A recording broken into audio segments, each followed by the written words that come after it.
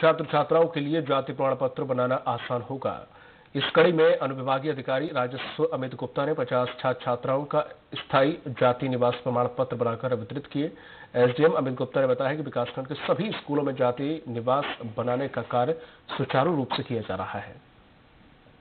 पहले जो है पालक जो है अपने बच्चों को जाति निवास बनवाने के लिए तहसील का चक्कर या तो पटवारी का चक्कर काटते थे। आज विधिवत तरीके से उनको सीधे सीधे स्कूल के स्कूल में ही जाति निवास बना के दिया जा रहा है। जिसकी शुरुआत आज जरा गाँव मिडिल स्कूल में हुआ है। में सभी स्कूलों का आवेदन प्राप्त हो रहे हैं और तहसीलदार के द्वारा उसमें अस्थायी जाति प्रमाण पत्र और निवास प्रमाण पत्र बनाए जा रहे हैं।